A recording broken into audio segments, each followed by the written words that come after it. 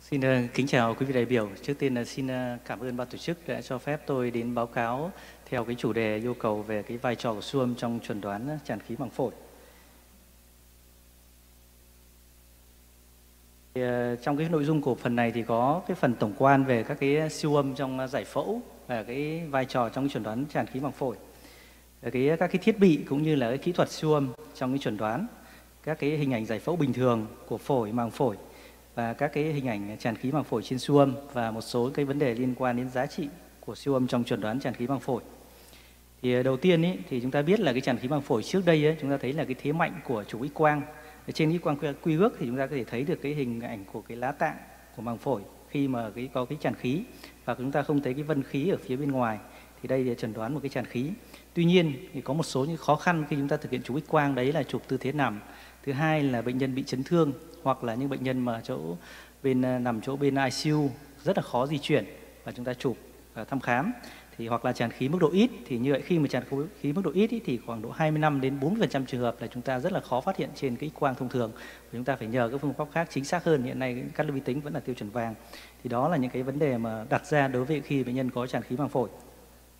Thì đối với siêu âm thì hiện nay siêu âm tại giường thì bắt đầu đã được, đang được ứng dụng và trong cái chuẩn đoán của cái tràn khí màng phổi thì ờ, mặc dù cái khái niệm siêu âm ấy thì vẫn là còn mới, bởi vì trước đây chúng ta thấy là cái khí là một trong những cái kẻ thù của siêu âm, tức là ngăn cản cái truyền của sóng âm. Và cái, các cái nhiễu ảnh giữa phổi và thành ngực làm cho cái chúng ta rất là khó đánh giá ở phía dưới. Và những cái ứng dụng của siêu âm trong chuẩn đoán của bệnh lý về phổi nói chung thì hiện nay đang được ứng dụng ngày càng nhiều, không chỉ phổi, màng phổi và cả những cái can thiệp và đặc biệt trong bốn cái nhóm bệnh chính hiện nay trong các cái đơn vị hồi sức cấp cứu, thì chúng ta đang sử dụng đấy là những chẩn đoán những bệnh lý về đông đặc, tổn thương phù phổi kẽ, hoặc là những tổn thương tràn khí, hoặc tràn dịch màng phổi, hoặc là cái tổn thương khác của thành ngực. Và cái chẩn đoán về siêu âm tràn khí màng phổi được báo cáo đầu tiên bởi tác giả Wendick năm à, 1987 cũng khá là lâu. Đối với lại à, ưu điểm của siêu âm mà khi chúng ta thực hiện cái chẩn đoán, thì thứ nhất là chúng ta sử dụng lặp đi lặp lại và thử thực hiện tại chỗ, tức là tại giường và không bị nhiễm xạ và giá thành thì rất là rẻ và thực hiện được nhanh. Thì có một số những cái nhược điểm, tức là cái độ phân giải và cái hình ảnh thì nó phụ thuộc hoàn toàn vào cái người thăm khám. Tức là nó không được mang tính chất là khách quan và phụ thuộc vào chủ quan cũng như là kinh nghiệm của người làm và một số khó khăn liên quan đến phân tích hình ảnh. Về cái thiết bị thì để chẩn đoán được đối với lại cái siêu âm tràn khí hoặc là tổn thương của phổi, màng phổi thì chúng ta hiện nay chúng ta hay sử dụng là những cái siêu âm sách tay rất là tiện lợi. Chúng ta có thể đến tận giường bệnh nhân chúng ta làm, lặp đi lặp lại. Và cái cái đầu dò thì chúng ta thường hay sử dụng các cái đầu dò convex hoặc là đầu dò tim với tần số từ 1 đến 8 tuy nhiên, khi đánh giá cấu trúc về thành của chỗ màng phổi, các cái dấu hiệu trượt màng phổi, vân vân hoặc là cái phía thành ngực thì chúng ta sử dụng cái đầu dò linear phẳng, tần số cao từ 4 đến 12 MHz và làm cho cái độ phân giải tốt. Và chúng ta sử dụng các cái phần liên quan qua các cái kẽ liên sườn cũng như là cái khi chúng ta sử dụng cái đầu dò tần số tần số thấp ấy, thì chúng ta sẽ đâm xuyên được sâu hơn đánh giá được cấu trúc ở phía dưới. Còn khi chúng ta sử dụng các cái đầu dò tần số cao phân giải cao chúng ta đánh giá được phần nông hơn. Về kỹ thuật thì ờ, thường ấy thì đối với lại bệnh nhân khi chúng ta nằm tại giường thì thường bệnh nhân nằm ngửa hoặc đôi khi chúng ta cho bệnh nhân nằm gần ngửa hơi nghiêng một chút. Và cái vị trí thông thường nếu như có tràn khí thì chúng ta sẽ sẽ sẽ để đầu dò phía trước và phía gần phía dưới vùng ờ, vùng xương đòn. Thì đây là cái vị trí mà do sinh lý bình thường, tức là khí nó nó thường là phía trước, trên. Và cái đường thông thường là đặt ở vị trí của cái đường giữa đòn. Và chúng ta xác định các cái dấu hiệu giải phẫu bình thường trên cái hình ảnh đặt siêu âm. Thì các cái dấu hiệu, ví dụ hình rơi, chúng tôi sẽ giới thiệu phần sau. Và sau đó thì chúng ta dịch chuyển đầu dò xuống dưới hoặc là sang bên thì tùy theo các cái các cái vị trí chúng ta đánh giá. Chúng ta xác định các cái vị trí của màng phổi, lá thành, lá tạng hoặc là đôi khi bệnh nhân ờ, tư thế ngồi, chúng ta vị trí đánh giá vùng đình phổi ở phía bên thì đây là các cái vị trí mà thông thường trong cái siêu âm ờ, phổi màng phổi cũng như là trong các đơn vị ICU chúng ta thấy là có mấy cái mốc quan bản. Thì đây là cái ờ, theo các cái các cái điểm blue chúng ta đặt hai cái bàn tay hai vùng ngón cái sát nhau và phía ngón út thì ngay phía dưới của cái xương đòn. Thì cái đầu trước của cái ngón tay chúng ta nằm ở phía cạnh của xương ức. Thì hai cái hình bàn tay chúng ta trồng phía trước đây ấy, thì điểm phía giữa của bàn tay ấy, thì đây là cái điểm blue phía trên còn điểm giữa của bàn tay phía dưới thì đây là cái điểm blue phía dưới. Chúng ta kéo một cái đường thẳng vuông góc với điểm blue phía dưới đây ấy, thì chúng ta sẽ có một vuông góc cắt với lại cái đường nách sau đây ấy, thì chúng ta được được cái điểm flat. Thì như vậy thông thường trên một cái siêu âm phổi theo blue chúng ta thấy đánh giá là có 3 điểm trên mỗi bên. Thì thông thường nếu một cái siêu âm phổi màng phổi hai bên ấy, thì chúng ta thường là làm 6 điểm tức là cả hai bên. Thì đây là cái vị trí mà chúng ta làm. Thông thường ấy thì vị trí phía trước này ấy, chúng ta thường hay đánh giá là trong cái tràn khí còn đánh giá ở vị trí phía sau ấy thông thường chúng ta để đánh giá là vị trí của cái tràn dịch màng phổi vân động kia hoặc cái tổn thương liên quan. Còn tuy nhiên khi chúng ta làm siêu âm đây là động học trên là chúng ta có thể di chuyển các cái vị trí khác nhau để chúng ta lần theo các cái vị trí. Thì đây là cái hình ảnh mà chúng ta đặt cái đầu dò vị trí phía trước kẽ khoang liên sườn ví dụ như là 23 đường giữa đòn. Thì sau đấy chúng ta sẽ thấy hiện hình của cái cấu trúc của cái màng phổi. Thì đây là cái phần màng phổi tức là cái phần nó tăng âm. Phía giữa đây ấy, thì chính chính là cái phần à, khoang giữa cái phần lá tạng ở phía trước và cái lá thành à, xin lỗi lá thành phía trước và lá tạng ở phía sau. Còn phía ngoài đây là cái cấu trúc mỡ ở phía dưới da chỗ thành ngực phía ngoài. Thì như vậy đây là cái cấu trúc của cái phần màng phổi mà chúng ta để quan sát thấy trên cái hình ảnh siêu âm còn cái à, các cái hướng khác mà chúng ta để thăm khám vùng màng phổi thì đấy là các cái hướng ở phía bên cũng như là phía đường dưới hạ sườn quạt ngược thì chúng ta sẽ đánh giá qua cái cửa sổ gan chúng ta sẽ đánh giá vùng cái vùng vòm hoành cũng như là cái vùng phổi cũng như là màng phổi phía đáy. Và phía bên đây chúng ta sẽ qua cái cửa sổ gan một phần chúng ta đánh giá được cái phần gan cũng như màng phổi cũng như là cái cấu trúc lân cận ở phía màng phổi khi có dịch hoặc là cấu trúc mà có đánh giá vùng màng phổi phía bên thì chúng ta đánh giá trên cái siêu âm vị trí theo cái điểm flap. Cái hình ảnh bình thường trên siêu âm, bởi khi chúng ta chẩn đoán tràn khí thì chúng ta phải nhận định đấy là cái hình ảnh giải phẫu bình thường trước. Thì có mấy cái hình ảnh giải phẫu. Thứ nhất là cái hình ảnh đường màng phổi. Thứ hai dấu hiệu trượt màng phổi dấu hiệu bờ biển trên hình ảnh xuông kiểu M. Cái dấu hiệu dội lại cái đường A và dấu hiệu đuôi sao chổi hay là cái dấu hiệu bi-line thì đây là trên hình ảnh giải phẫu và khi chúng ta thấy là cái đặt ở các cái vị trí kẽ khoang liên sườn đây là cái theo cái đầu dò đặt hướng đứng dọc. Thì như vậy phía trên của nó sẽ chúng ta sẽ thấy là cái xương sườn. Phía dưới của nó thì chúng ta thấy là cái điểm của xương sườn và cái xương sườn này sẽ tạo ra cái bóng cản ở phía sau. Và điểm giữa đây ấy, thì chúng ta sẽ quan sát thấy là cái phần thành ngực cái phần cơ như vậy chúng ta sẽ quan sát thấy phần nhu mô màng phổi cũng như là cái cái màng phổi cũng như cái cấu trúc phần phía sau nó tăng âm để tạo ra cái hình tăng âm phía sau và hai cái hình bóng cản ở phía sau hai ở phía bên trên và dưới thì chúng ta tạo ra hình con, con rơi đang bay. Và hình cánh rơi chính là cái hình bóng cản của xương sườn và hình giữa thân của con rơi chính là cái hình siêu âm nó chuyển qua nhu mô phổi qua phần màng phổi cũng như là nhu mô phía dưới. Thì đây là cái ảnh giải phẫu bình thường. Cái hình ảnh giải phẫu trên cái ờ, dấu hiệu trượt màng phổi. Thì khi chúng ta để đặt đầu dò thì bệnh nhân hít vào và thở ra, như vậy cái màng phổi lá lá tạng nó sẽ trượt trên cái lá thành. Đây, chúng ta thấy là cái phần nó tăng âm đây. Chính là cái phần mà của cái ờ, lá tạng nó trượt lên, nó hình tăng âm. Thì chúng ta sẽ thấy cái cấu trúc hình tăng âm ở phía sau. Và phía cái màng phổi lá thành ở phía trước thì đây, cái khoang màng phổi thông thường, cái khoang này nó khoang ảo thì trên đây chúng ta thấy quan sát cái siêu độ phân giải cao, chúng ta sẽ thấy được các cái hình cấu trúc như vậy. Cái dấu hiệu ờ, khi mà một số trường hợp, tức là chúng ta thấy cái dấu hiệu trượt, nó rất là khó, và chúng ta nhận định trên hình ảnh 2D nó khó, thì một số cái ứng dụng trong cái siêu âm Doppler, bởi vì cái siêu âm Doppler mục đích là thấy là cái dòng chảy dịch, hoặc là cái di chuyển nó sẽ làm cho cái thay đổi cái tín hiệu màu, và khi đấy chúng ta sẽ làm thấy là cái hình ảnh màu trên cái hình ảnh trượt của màng phổi nó sẽ rõ hơn. Thì đấy là chúng ta khắc phục là cái một số trường hợp, tức là cái dịch chuyển nó rất là hạn chế, chúng ta lợi dụng cái siêu Doppler và chúng ta thấy là cái màu nó dịch chuyển đây, thì gợi ý là có dấu hiệu trượt màng phổi. Và cái dấu hiệu trượt màng phổi này rất quan trọng, nó liên quan đến các cái tiên lượng chẩn đoán cũng như là đối với chẩn đoán tràn khí. Cái dấu thứ hai đấy là cái dấu hiệu cái ờ, bờ biển và trên cái siêu kiểu M. Thì đây chúng ta siêu âm kiểu 2D đây chúng ta thấy là cái hình ảnh của cái màng phổi nó tăng âm. Thì những cái hình ảnh, cái màng phổi tăng âm phía trên chúng ta thấy là cái hình ảnh tĩnh ấy thì nếu với siêu âm của em ấy, thì cái phần này thì nó không ờ, không dịch chuyển. Và chúng ta thấy là hình nó mấp mô giống như là cái hình ảnh của cái sóng của bờ biển. Còn hình ảnh tăng âm đây ấy, chính là cái hình ảnh của cái tăng âm của cái bằng phổi. Và cái phần nhu mô phổi chúng ta thấy là hít vào thở ra ấy, nó dịch chuyển lên dịch chuyển xuống. Thì trong này có khí và tạo ra cái hình ảnh nó giống như hình ảnh cát tức là giống như bờ cát. Chúng ta thấy là cái phần này nó dịch chuyển nó rất là mịn. Thì đấy là hình ảnh bình thường khi chúng ta đặt cái đầu dò âm trên cái phổi chúng ta thấy gọi là cái hình ảnh bờ biển. Thì cái phần tĩnh ở phía trên thì nó là cái các cái sóng biển, còn hình ảnh tăng âm nó chính là phần bờ biển và cái phần phía cát ở phía dưới, nó chính là cái phần nhu mô phổi ở phía dưới.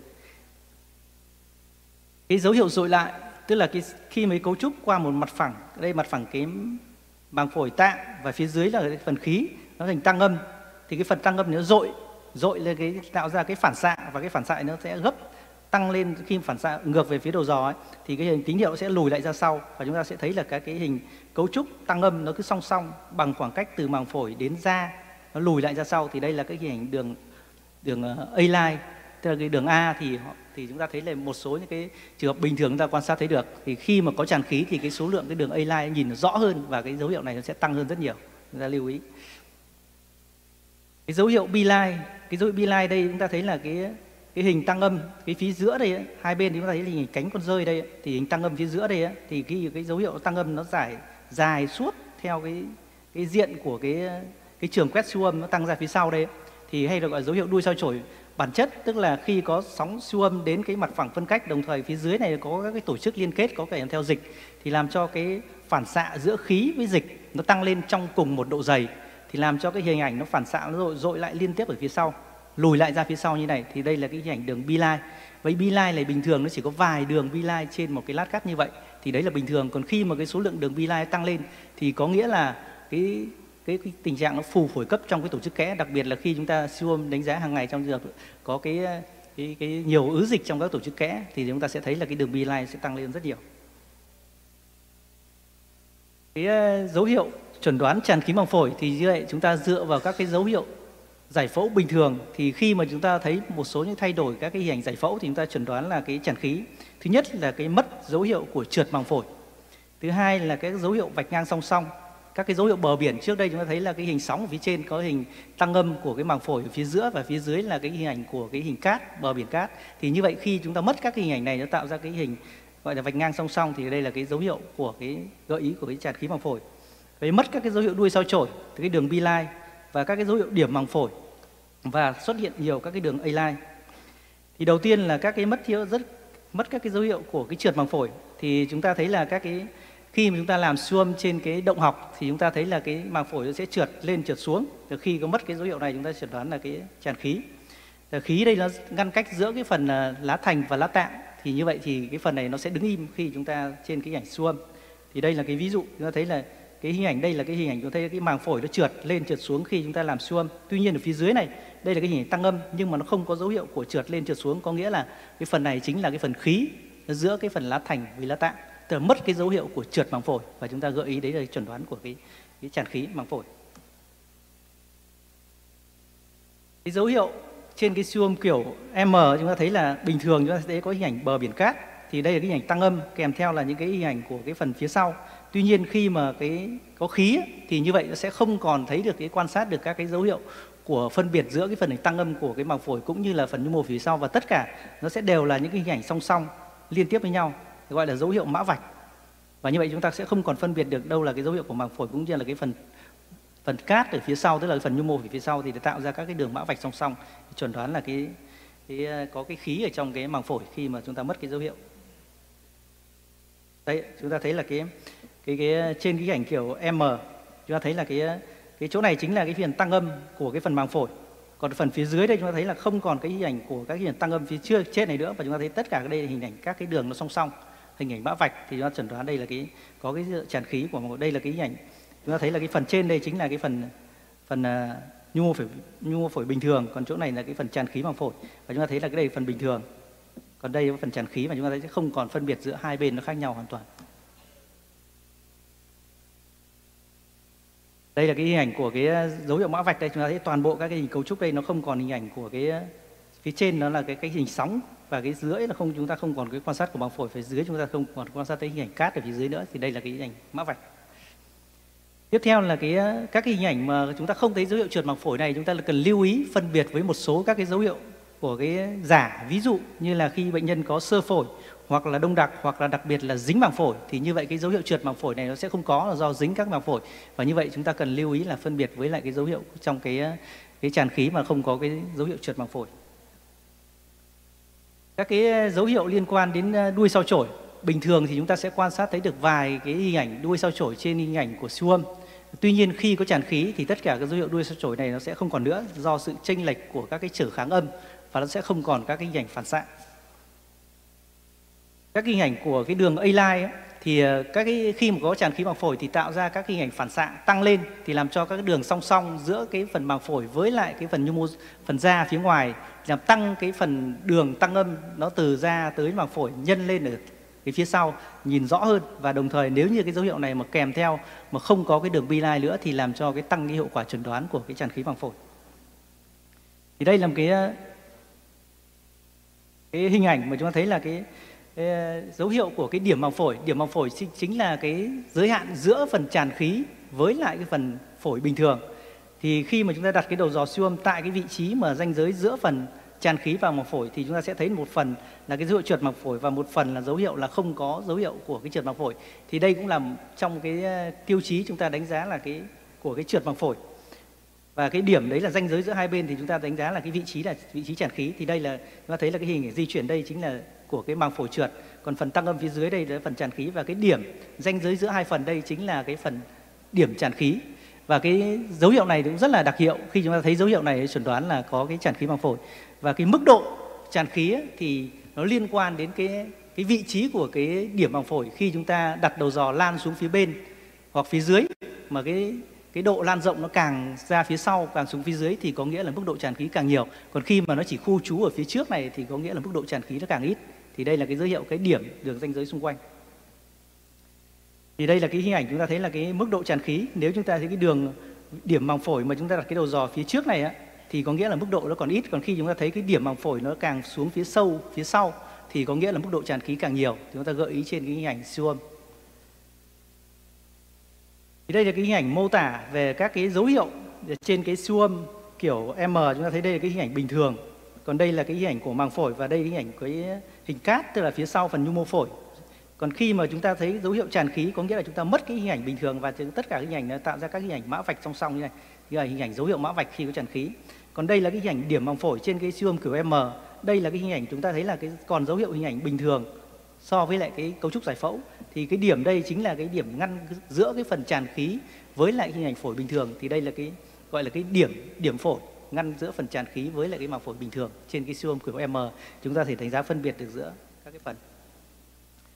Thì cái dấu hiệu điểm màng phổi này thì có đặc hiệu rất là cao, trăm phần trăm. Tuy nhiên cái độ nhạy lại thấp, bởi vì sao? Khi có tràn khí toàn bộ thì chúng ta lại không phát hiện được cái điểm màng phổi, bởi chúng ta sẽ không có cái phần ranh giới giữa phần phổi bình thường với lại cái phần tràn khí. Vậy chứ xác định cái điểm này nó sẽ bị hạn chế.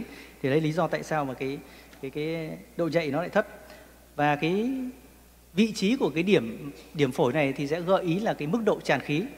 Và khi mà vị trí phía trước thì mức độ ít, còn khi mà càng ra phía sau bên thì mức độ nó càng nhiều. Thì ờ, theo cái sơ đồ chuẩn đoán, khi mà chúng ta nghi ngờ bệnh nhân có tràn khí, đầu tiên là chúng ta xem các cái dấu hiệu của trượt màng phổi. Nếu như có dấu hiệu trượt màng phổi thì chúng ta có thể loại trừ đấy là có, không có tràn khí. Tuy nhiên, cái vị trí này chúng ta phải thăm khám các vị trí cái phía trước trên và liên quan đến cái cái cái tràn khí hay gặp. Nếu như có dấu hiệu trượt màng phổi thì chúng ta tìm thêm các dấu hiệu, gọi là đuôi sao chổi cũng như là đường bi lai. Nếu như là có đường bi lai hoặc là đuôi đuôi sao chổi, chúng ta cần lưu ý là cũng loại trừ là có tràn khí. Còn trong trường hợp nó không có dấu hiệu này thì chúng ta tìm các cái điểm màng phổi và thấy không có thì chúng ta, có dấu hiệu của cái điểm màng phổi chúng ta càng chẩn đoán đấy là có cái tràn khí màng phổi. Và cái độ nhạy của cái siêu âm so với x quang thì theo các cái nghiên cứu tổng hợp phân tích tổng hợp chúng ta thấy so sánh giữa cái siêu âm với x quang trên một cái nghiên cứu tổng hợp của các bài báo được công bố thì trên 1.514 bệnh nhân chúng ta thấy là cái độ nhạy của x quang nó chỉ đạt 39%, độ đặc hiệu 99% trong khi mà cái độ nhạy của siêu âm nó đạt đến 78% và độ đặc hiệu liên quan đến 98%. Thì nghiên cứu này chỉ ra rằng là gì? Là cái siêu âm nó nhạy hơn rất nhiều trong cái x quang trong chuẩn đoán các cái tràn khí màng phổi. Còn khi mà chúng ta làm siêu âm ở các cái đơn vị hồi sức cũng như là các trên các nhóm bệnh nhân mà mà rất là khó di chuyển. Và chúng ta thực hiện mà so sánh giữa các cái nhóm người lớn với trẻ em, trẻ sơ sinh với lại người lớn thì chúng ta thấy là cái độ nhạy của siêu âm trong chuẩn đoán tràn khí màng phổi nó rất là cao.